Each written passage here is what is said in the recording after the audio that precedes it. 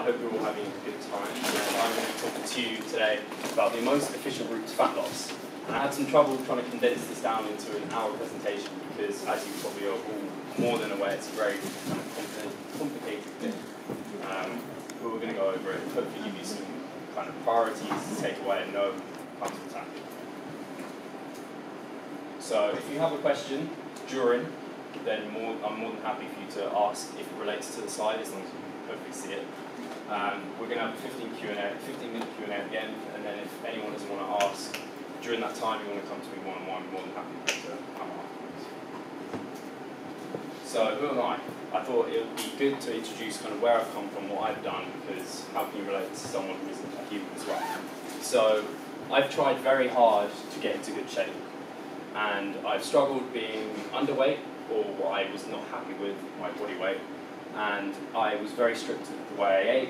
I would take Tupperware to friends' houses and make sure I was getting in my chicken and broccoli and brown rice, eating all the right things I thought. And then I was overweight at one point when I thought I could gain all the muscle in the world and just shovel in all the food. And I just, it was all the right food. I wasn't eating anything crazy bad. Almost wish I was because at least then it would be kind of get some enjoyment out of it. But I was pretty unhappy in both photos and both scenarios. And who am I now? So right now, I am an online personal trainer. I've done one-on-one in-person coaching as well, but now I'm mainly online. I'm a powerlifter and bodybuilder. Um, I got pretty lean when I did bodybuilding, so I managed to lose quite a lot of fat for myself. I came down from 190 pounds to um, 160 pounds, so and that was over the course of about a year, just under a year. Um, and I've worked with and got results with over 250 people. So when you work on the internet, the great thing is you can work with a lot of people, and I've had the great opportunity to help a lot of people lose fat, men, women, um, and also help women lift heavy weights. As Helen, one of my clients, there. So we want the most efficient route to fat loss, don't we? We don't want anything kind of wishy-washy. We want the most efficient part. So obviously it's like because that's going to get you from really fat to super skinny. But I thought, apart from being funny, it was important to show this because people really struggle with losing fat and actually struggle not to put it all on. And it's very hard and so hard that people have to go to extreme lengths to get it off. Which, if there's a way to do it without doing this, I want you to have that. And I'm very passionate about people not getting into situations where they have to spend ludicrous amounts of money to do something that, in my view, isn't very healthy or kind of natural. So we want to avoid situations like liposuction. So why are you here? You want to lose fat efficiently. And it's confusing because there's so many different ways to do it.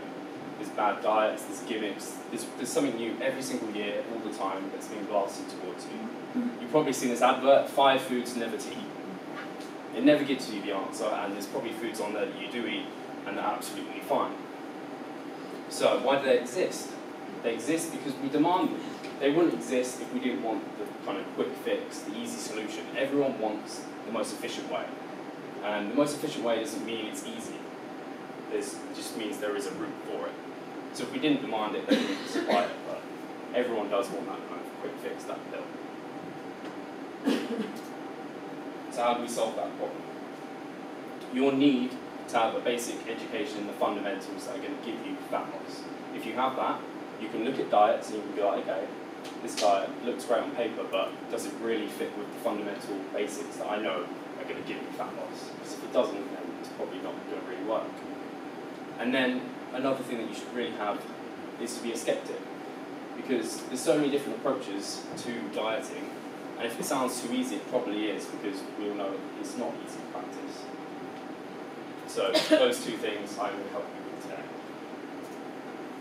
So why do diets work? Because we know diets do work, because we've had success with them, and we know things like Atkins, they, they definitely do provide results. We've seen it, we see transformational pictures all these people seeing tremendous things. So whether it's low fat, low carb, or they kind of do intermittent fasting approach, like the 5-2 diet or something, they all restrict something. And it all comes down to energy in versus energy out. And it is as simple as that. If you provide your body with insufficient calories, it will have to get from somewhere, and hopefully it's going to be body fat stores. So why don't diets work long term? Because they're unsustainable. So like my diet that I tried to have, I actually lacked the understanding of energy balance in the first place. But what if Louise wants to take you out clubbing? What do you do? You're going to drink a load of booze. You may even kind of have some cheesy chips afterwards. How does that stick with your diet? It doesn't really work. And just in the same way, even if you want to go to a friend's house and you're on this meal plan and that meal doesn't fit with your meal, what are you going to do? You need a, a way to get around that. Because in this modern day environment, it just becomes very difficult to stick to boring foods. We don't want to do that. We want to have the ability to enjoy our life at the same time, so we don't want it to necessarily be a diet that takes over our lives, kind of become a lifestyle. So the second way they don't work is because they lack education. So that you're on a diet, and many people do these diets, and then you ask them kind of why is it working? They don't really know why it's working, it just is. And then when they stall out, because you inevitably do stall out on every diet, because the body fights fat loss, we know this, it gets much harder as you get uh, thinner, you kind of lack the education to know what to do when you stall. So I'm going to help with both these problems today. Do you want to find a diet that will work for life? You need to have an awareness of why the diet is working for you, and it needs to be flexible so you can fit it with your life. And studies show that having a flexible approach to your nutrition is actually the way to go. They work for the long term. And I've just highlighted kind of the endpoint study here, which suggests that non-flexible dieting strategies are associated with eating disorder symptoms and a higher BMI. Although this is in non-obese women, we can kind of put this towards everyone. I think everyone agrees that when they're on a restrictive diet, it probably, if they stick to it, it kind of becomes a bit of a, disordered way of eating. We see with like orthorexia coming out and things like that. And I've experienced it personally, and it's, it's not a fun way to live. Or you end up breaking the diet and putting the weight loss back on, which is a horrible thing. So scientific dieting work, scientific dieting works, but it has many components. When should you eat? How much should you eat? what to eat? They're all good questions and ones that could be kind of confusing and difficult to answer. But something we can know is are they all equal in importance? So is it as important to eat three meals a day as it is to get your total calories right at the end of the day? Is it important to have protein post workout, or is it more important that you've had the right amount of total protein for the day? So we can set up some priorities. So calories are king. They are the most important thing to get right, and I want you to take that away from today. Macronutrients come in second place, which are protein, fats, and carbohydrates. Alcohol is also a macronutrient, but not so commonly thought of because hopefully we're not kind of being having too much of that. And I'll go over those in further detail. And then finally, meal composition slash what to eat is the final priority. And then overriding all of that is consistency with it. Because the best diet is the one you can stick to. Because most diets fail us because we cannot stick to them, they just are not realistic. So I'm going to give you a realistic diet. So number one, calories. So the body cannot produce its own energy, we have to take it in and so that energy is transferred from the food to us, and then we either store it or then and then use it on a later date. And if we provide our body with too little energy, then we have to burn our own energy stores. So for fat loss, we need that calorie deficit, so we start burning the energy from our own energy stores, and hopefully fat, which I will come on to. So this bowl of granola has loads of great things in it. It has oats in there, has dried fruit in there, has seeds in there, and it's all it's acting nice and kind and healthy, but it's 1,400 calories. That's a lot of calories. If you have two bowls of that, that's probably more than the majority of this room need to maintain their weight, let alone try and lose weight. And if you have that for breakfast, that's kind of your day below. So I just thought that was important because a lot of things are healthy, but only in context of those calories, which is our number one priority, which we're going to solve. Second, are macronutrients and their roles. So hopefully you've seen kind of nutritional information on the back of packets, and there's quite a lot of information on there. Um, but what we now know is that energy, calories, is the thing we should look at most. Second, or in secondary importance, are the protein, fats, and carbohydrates. but really it's those calories. So protein has four calories per gram, and that's most important for growth and repair. And I think it's important to have an understanding that each macronutrient has its own particular role, and we don't want to cut any of them out because they're all important for their own given reason. Fats have nine calories per gram, and these have essential fatty acids that we need for, for life, and they provide many essential vitamins, and they also make food taste delicious. Carbs have four calories per gram, and are the body's preferred energy source. And they also have vitamins in, we know fruit is a carbohydrate source, there's lots of vitamins, has fibre, which is also important for many, many reasons. So they all have their particular roles. We don't want to get rid of any particular one.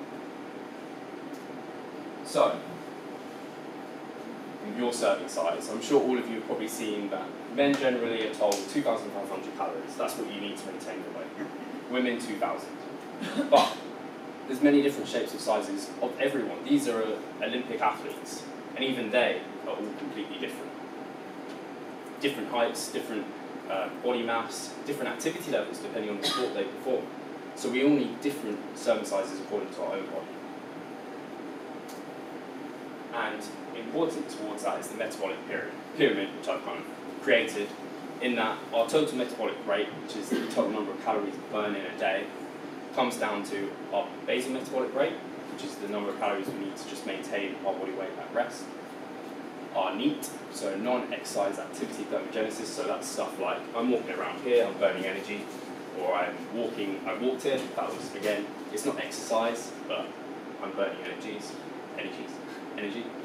And then the thermic effect of activity, so that's like you did in the HIIT class this morning, you burn a load of calories, that also contributes, but less so to the total your BMR and NEAT. And then finally, the thermic effect of food, which is the energy you use to digest food. So you don't actually get every single calorie that you ingest. But most important is basal metabolic rate. So this is important for females to understand because females in general are always smaller than males. So for men, fat loss does come easier because we can eat more generally because there are more of us. So your serving size. So I will give you these slides in case this is a bit quick, but there's so many different ways to work out how many calories you need, and there's so many different calculations. They all are very similar in many ways, and actually I've run, I've run them all for myself and different people, and they all come within the same sort of range. But I like to simplify it and do your body weight times 10 uh, in pounds to get your BMR, and that's the number of calories you need without doing anything. And then multiply that by an activity multiplier. So it goes all the way from 1.2 to 1.9. So if you have an active job, you're on your feet all day, maybe you're Louise and a PT, teaching people all day on her feet, and then exercising yourself, you may be well extremely active, so you need more calories. Whereas someone who is an office worker, sitting on their bum all day, doesn't need much more above just the number they need to maintain their weight from doing nothing, because they're doing very little. So I think it's important to find out your serving size because if you compare your diet to Louise's, you do her diet. If you're a sedentary office worker, you're not going to burn, you're not going to lose weight. You may put weight on because Louise can consume so many more calories.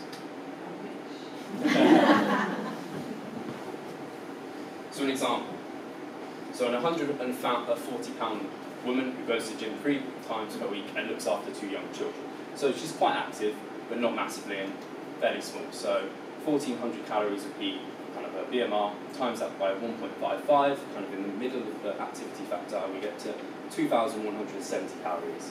That should be roughly her maintenance. These aren't ever going to be exact because they're calculations, and I'll come on to how you get to figuring out exactly what maintenance is later when we monitor things. So we need to create that calorie deficit because now we have her maintenance calories. So something that is important I don't think any diets really, really consider is a sustainable rate of loss. Because if we lose too fast, we could lose lean body mass. And we know muscle is important, not just for kind of looking better, also keeping ourselves healthier in older age, kind of looking after our joints, and also it's more metabolically active than fat tissue. So we want to look better, we want to burn more calories, we want to keep that muscle mass, so we don't want to lose too fast. And also if you find you lose too fast, you'll probably be more likely to binge and break because that means you have to restrict heavily and the body will fight you harder and harder So if we do it slower, we can kind of coax the body rather than kind of really, really shock it and react. Coax it and it will respond the way we want it to. And also metabolic adaptation. So this is your, your body fighting you basically. Um, your metabolic rate will come down, your hunger hormones will come up, and you'll be more likely to break and kind of binge. Even if you don't feel hungry? Sorry, what's that? Sorry? Even if you don't feel hungry? Is that, what's the question specifically? Um, will your metabolism go down Mm-hmm. Even if you have a four meal a day, proper, very healthy diet and feel hungry only when you wake up in the morning? Will I'd, uh, and you're losing faster than 1% of your total body weight. yeah, that- it depends, I'd say it depends how much faster than that. I'd say much faster than that, you'll probably, I mean, in the first few weeks, you may well be fine because probably know in the first, well, you might not realise, but in the first few weeks of dieting, often you lose a lot of water weight. So you may find you lose faster than 1% in the first few weeks, but much past that, I think you probably will yeah. Okay, Um, loss will slow down. Yeah, but definitely hunger is a great thing to go by. Your own hunger signals. Um, if you're not feeling hungry on a diet, that's amazing and you're losing weight. Like keep, I'd rock with it. Fibers. So generally 3,500 calories are needed to burn one pound of fat. So that's the deficit we kind of want to aim for. Because for her, she wants to lose between 0.7 to 1.4 pounds per week, rounded to 0.5 to 1.5. So if we take away 500 calories from her maintenance, that comes to 1,670 calories for her to lose a pound a week. So if, if hopefully that's not too confusing. So then finally, food composition slash what to eat. So as we know, protein, carbs, and fat all have their particular roles for our body. And so we don't want to needlessly restrict any. I think we can all admit to, I know personally when I tried to do a keto diet and I was cutting out all carbs, all I wanted were carbs. That's all I wanted. I didn't want anything else, I couldn't care less, I just wanted carbs. I know when it came to the weekend, I struggled massively not to cheat. And then if I did have something that was like a slice of bread, I was oh, really craving a slice of bread with some jam, I'd have the whole kind of loaf and the whole, the whole, the whole jar of jam was gone. So that completely would ruin my diet, and that's what we want to avoid. We want to avoid having to kind of, we're on or off the diet, we just kind of want to be on it. So you need to have well-structured meals. So your plate should have some lean protein, some starchy carbs, and some healthy fats. And then you could have this between three to six meals per day, according to your lifestyle. As we know, most important is calories, then macros, then food composition, and then things like timing of all of that dramatically drops in importance when it comes down to your lifestyle. So I think an important thing to talk about is that 95% of us put all the weight we've lost back on. And one third of half of people put on more weight than they even lost to begin with. I think that's really important. Just is a it's a fact, it's a statistic, and I think it's quite saddening, and it's why I'm so passionate about helping people lose fat and keep it off, because that's the hardest thing. Because actually losing fat, we know it comes down to those calories, but keeping that afterwards is really really tricky. So part of the solution is making it more flexible. So you aren't expecting, I don't want you to expect yourself to be perfect every single day, every single night of the week I don't think that's fair on anyone to expect absolute perfection. I think it would be very difficult to even do that and achieve that without being kind of sane and breaking at some point. So when we can accept that we might slip up now and then, we can get back on track much sooner rather than kind of having that one slice of bread and jam and then having the whole loaf and the whole the whole jar. Can just think, oh, I've slipped a little bit. I'll get back to it tomorrow rather than having a week off where I just put all that weight back on. Mm. And then again, room for flexibility comes within you can indulge in some nicer foods. I was talking to Louise beforehand about how important calories are, macros are, and that as long as you stick to those, you can have something treaty now and then, maybe a biscuit. But Louise is saying she can't, she needs to have no go. So if she does have that, it's kind of, it's just, it just happens, whereas some people can, for example myself, I can kind of plug it into my total calorie intake and I'll take away something else, kind of in exchange. But it's having the knowledge that you can kind of break away from the diet and you can come back to it. Rather than breaking away and that being permanent, you failed, you're awful. So we have kind of a bit of a healthy, flexible plate. So 80% of that plate should be your wholesome, great foods, minimally processed, great deal of foods we all know like oats, lean meats, avocados, nuts, seeds. And then 10% of your food could come from kind of semi-junk food, and another 10% from kind of blatant junk food. Just stuff you really love, because if you can stick to your calories and you can have a small amount of what you love, that might keep you on your diet long term, which is more important.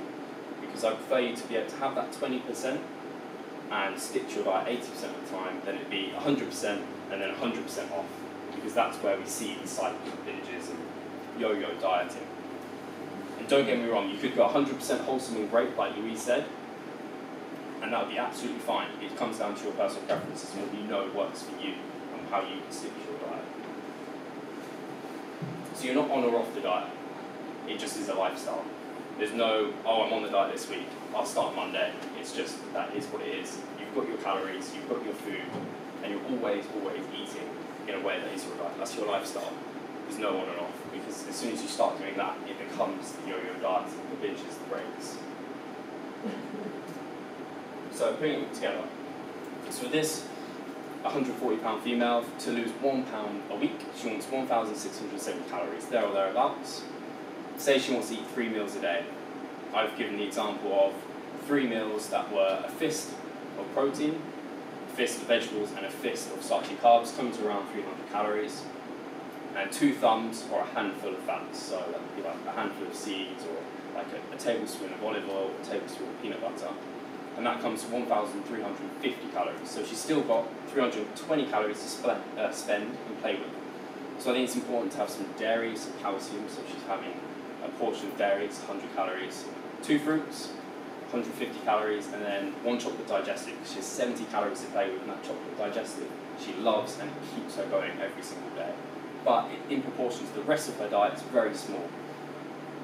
And you could take it a step further and do something that I've done, and I actually did with Louise, and is use a diary tracker like MyFitnessPal, which you may already be aware of and use yourself. And you can weigh the foods out. You can actually know precisely how many calories you're eating every single day. What about training? Because we've talked a lot about nutrition, but training definitely has a role to play in fat loss, especially fat loss. Because we can lose weight by dropping calories, but we want to lose fat because we know we want to keep the shape of our body, we want to keep our body healthy, and being strong is cool. Being strong is a really great thing. I think it's underappreciated, especially for females, like being able to help my female clients do pull-ups, bodyweight pull-ups is a great thing, and they get really empowered by it, and I think it's terrific. So we want to keep that fat, uh, muscle, so lose the fat. So we need some way of doing that. We want the diet to do the work for us for fat loss. So, fat loss is more important than weight loss because you want to give a reason, give your body a reason to keep that lean tissue and build metabolic potential. So check out Helen. She's actually she did a powerlifting meet recently. Um, she's over 50 years old and incredible. I, I'm very very proud of her and she lifts weights. She looks great and I advise all my clients if they want to lose fat, then weights are the way to go. So I think something that's important is knowing how to monitor what's going on because we might do all this, we might work out what the calculator's given us, but what is in reality happening. You can't manage what you don't measure, and the better you measure, the better you can manage, and the better your management, the better your result. I think that's important because the more tools you can use to do the job, the better things will go. So I think it's important not just to look at the scale, because I think the scale, although a lot of people dislike it. I think it is it keeps you honest, it keeps you on track, but not on its own, especially for females, because you have your monthly cycle, which massively, massively impacts it more than I think a lot of even females realise how much it has an impact. So something else that's important is the girth measurement. So like maybe you've just started weight training and you've started this diet and you've gained muscle mass, so the weight on the scale might not even be changing. But your girth measurements might show kind of your waist has come down, glutes have increased, you've been doing lots of squats and things like that, which is great. So and again, important photos, clothes, how they're feeling. Are people commenting you're looking better? They may well be. And then more important than all of that is how do you feel? Because at the end of the day, how you feel is most important. Are you enjoying your training? Are you enjoying your diet? Because if you're not, but you're looking better and you're feeling better, uh, and everything's saying fat loss, but you're not actually feeling better, then is it really worth it? So always remember how do you feel. so you can't diet forever. That's also another important point. A big reason people do put the weight back on is because they try and diet for a very long time. And the harder you diet, like with the biggest loser, the harder it is to keep that weight off. So we all know the biggest loser where they kind of shout at them all and try and get the fat loss ridiculously fast and it's just very unhealthy and unsustainable. Hopefully Louise doesn't do the same to you. Um, I think encouragement is great, but they take it a bit of a step too far. For example, with Ali Vincent, starting at 234 pounds, got down to 122 pounds, lost over 100 pounds, fantastic. But her current weight is over 200 pounds, so she's put that weight back on, which is terrible, which is exactly what you want to avoid. And this comes down to something called your set point theory, which you might have heard about, and I won't talk about it in too much detail, but I like to talk about it in like a thermostat. It's like the temperature in this room is set at 25 degrees. If it suddenly the sun comes out, it gets really hot, it'll start blasting the aircon. If it snows outside, it'll turn on heat. It's going to try and stay around 25 degrees. So your body has a body fat set point. So body fat it wants to stay at. We all probably know kind of when we were younger that if we're a porker as a child, like always struggle not to be like that. Or if you're always you have those friends who are always really skinny and they're always really skinny and they seem to find fat loss really easy. I know for myself I've always been kind of really skinny, so getting when I got kind of slightly overweight, which I considered overweight, I was very unhappy, I felt awful. And so whenever we get away from that set point, the body fights to get back to its usual self. It will fight you. Um, like it did here. The body was used to being really heavy for Ali, and so it fought that. It made her really hungry. It made her kind of do less exercise because she never tried to manage a sustainable fat loss and then have points at which she sustained that, maintained that fat loss. So I think it's important that people don't try and diet for too long. I have a lot of people come to me who have seen the results I've got with people and are amazed and they want the same results. And I ask them, how long have you been dieting already? They've been dieting for maybe even years, some of them. And I tell them they have to take a break. They have to make themselves healthy before they can start losing fat again. Because you can't expect, the body's just not going to respond if you just keep attacking fat loss. So something I think is important is to take a break or give yourself a break, and that's normally to maintain that weight you've lost. I advise every 12 weeks for you to take a break. I think it's really important. A lot of people don't want to do it, but I literally, I'm more happy with my clients who can maintain the weight they've lost than when they lose it almost. It's harder to do because the body really does fight. So, How to do that, Stephen? Is it going to maintenance exactly. So, for some people, if they're tracking their calories precisely, it gets very tiresome and difficult, and it's almost a psychological release also to start allowing them to eat a bit more, so they might track a little bit less precisely, but eat a bit more freely, go out for meals, and that inevitably brings up their calories a bit, and they try and eat around maintenance. And that, yeah, it's, it's exactly that. You want to try and eat around maintenance. For what sort of period of time? The longer you've been dieting, so hopefully if you've been 12 weeks, then you could just have a week break. But if you've been doing it for longer than 12 weeks, then you want to have a longer period of time, really, really, until you feel healthy and energetic and kind of you've had enough of a break. Personally, I think it comes down very much down to the person, the person, sorry. Um, but the more fat you have, the longer you keep dieting for, the less you have, kind of, the more breaks you want to take. Um, but yeah, at least a week. So the most efficient route to fat loss, one, calorie deficit, that has to happen, otherwise we will not see fat come off our body, it has to happen, with an emphasis on protein, because the protein, not only it's, protein's pretty much, you must see it nowadays with everything's pushing protein, and there's good reason for it. It has the highest thermic effect of food, so it helps burn slightly more energy when we digest food. It's the most safe, better results than kind of just doing endless amounts of cardio.